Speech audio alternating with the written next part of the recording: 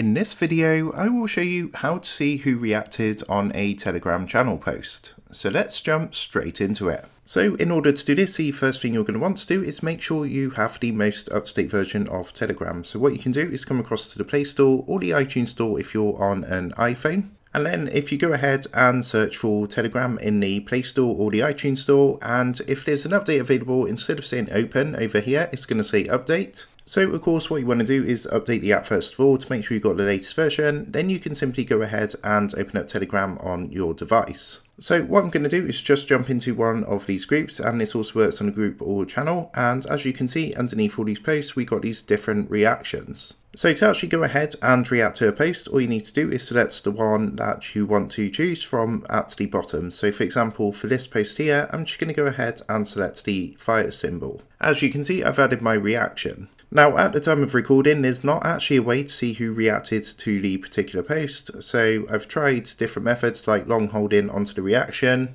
However, at the moment, you cannot see who actually reacted to that particular post. So what you can do is, of course, leave reactions yourself by selecting any of the available reactions underneath the post.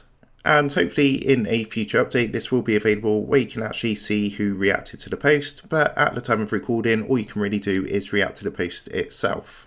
So I hope that clears things up on if you can see who reacted on a Telegram channel post. With that being said, I hope this tutorial did help you out today, and if this did help you out, I would really appreciate it if you was to consider dropping down below the video, leaving a like, and also subscribing to the channel. With that being said, I just want to take a minute thank you guys for watching this quick tutorial, and I will see you in the next video.